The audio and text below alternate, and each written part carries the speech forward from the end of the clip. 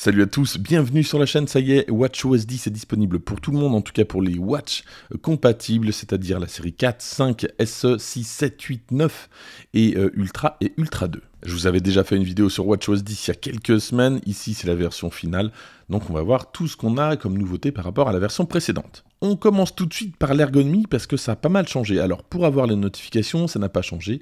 Je euh, passe mon doigt de haut vers le bas et donc j'ai mes notifications. Alors ce qui a changé, c'est l'inverse, c'est de, de, slider vers le haut. Avant, on avait le centre de contrôle, on va le voir juste après. Actuellement, si on fait ça, on a euh, un autre menu qui concerne les widgets. Donc ici, j'ai tous mes widgets, notamment mon widget à l'écoute. Je vais pouvoir les réorganiser, même les épingler. Et si je continue, donc j'active euh, les applications. Alors il y a une autre solution hein, pour euh, activer les, applications. Donc soit je fais comme ceci, on vient de le voir, ou alors j'appuie directement sur la Digital Crown. Pour gérer les, les, widgets, je retourne dans Widget, je fais un appui long, et voilà, donc là je peux supprimer des widgets, les épingler, ou même en ajouter. Donc là, j'en ai ajouté un. Si je veux le désépingler, j'appuie sur la petite épingle et voilà à l'écoute qui repasse en tête. Et du coup, ce qui change, hein, c'est le centre de contrôle. Pour accéder au centre de contrôle, on a besoin d'appuyer sur le bouton latéral. Alors je sais que ça en a déstabilisé plus d'un. Au bout d'un moment, objectivement, ben, on s'y fait. Donc c'est une question de, temps, euh, mais bon, c'est assez pratique en tout cas. Autre changement, ça concerne les cadrans. Si je slide de gauche à droite ou de droite à gauche, je ne peux plus basculer d'un cadran à l'autre. Pour changer, il faudrait que je fasse un appui long et là, je sélectionne mon cadran. Et ça, c'est pas mal parce que je faisais pas mal d'erreurs en switchant euh, gauche à droite et je changeais de cadran. Donc là, ça ne le fait plus. Alors, on a quatre nouveaux cadrans. Euh, lorsque j'avais fait ma vidéo, il y en a deux. On a deux nouveaux cadrans qui sont ajoutés, mais on va revoir les quatre. Parmi ces quatre cadrans, donc on a Analogique Solaire, on a Palette qu'on connaissait, on a Snoopy qu'on connaissait également, on va le revoir, et puis euh, un nouveau, un nouvel arrivant, euh, Nike Globe. On commence par analogique solaire, c'est celui-ci. Alors le, concept, hein, c'est tout simple, c'est qu'on va avoir une, modification du cadran tout au long de la journée, euh, suivant la position du soleil. Donc comme ça, il a l'air assez sympa. On va le personnaliser et on va voir ce qu'on a. Première option de personnalisation dans le premier onglet, ce sont les styles. Donc ici, j'ai trois styles disponibles, donc je vais pouvoir le, modifier comme ceci. Ensuite, j'ai euh, le thème, est-ce que c'est dynamique, clair ou sombre. Troisième onglet, ce sont les couleurs. Le rouge a l'air assez sympa. Enfin, tout, euh, semble assez, assez joli en tout cas. Et on termine par le quatrième onglet, les complications. On continue avec un cadran dont on n'avait pas parlé puisqu'il n'était pas disponible lorsque j'ai fait ma vidéo, c'est le Nike Globe, donc euh, en partenariat avec euh, Nike.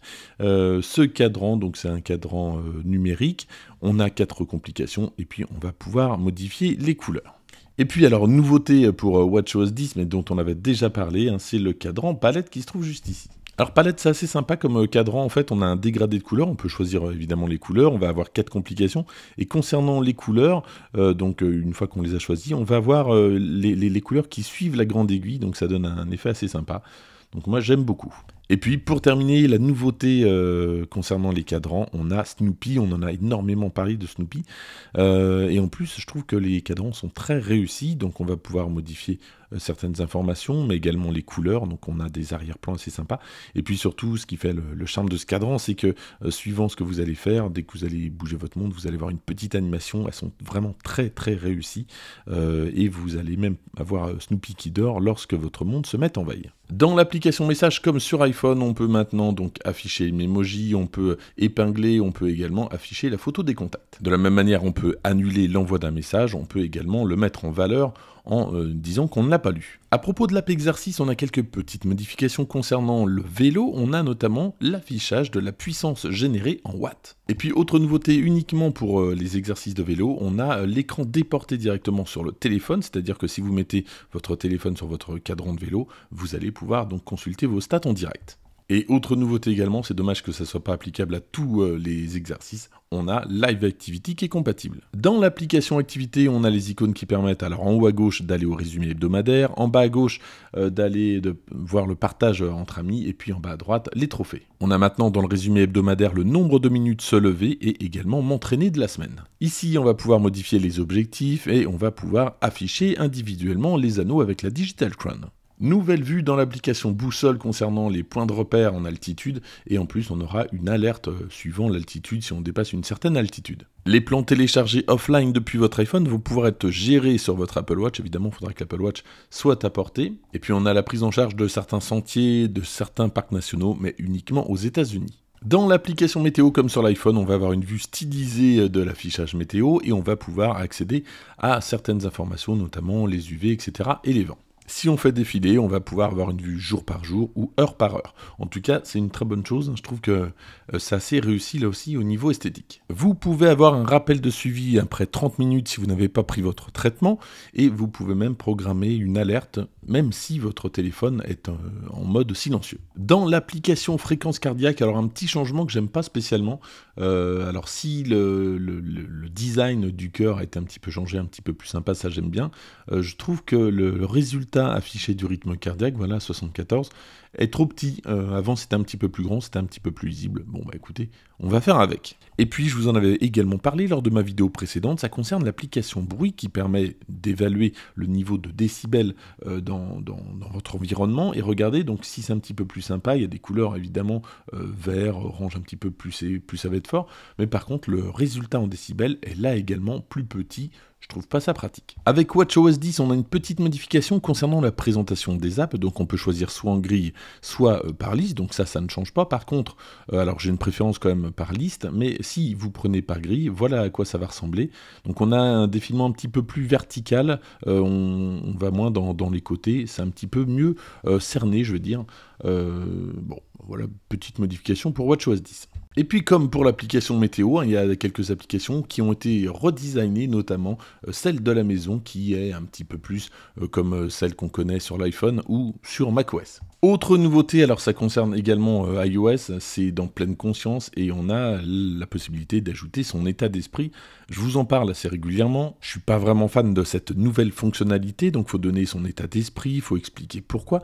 Et dans les commentaires, alors moi je vais, franchement, à part pour les tests, hein, je l'ai pas du tout utilisé cette fonctionnalité. N'hésitez pas à me dire si vous, vous allez l'utiliser.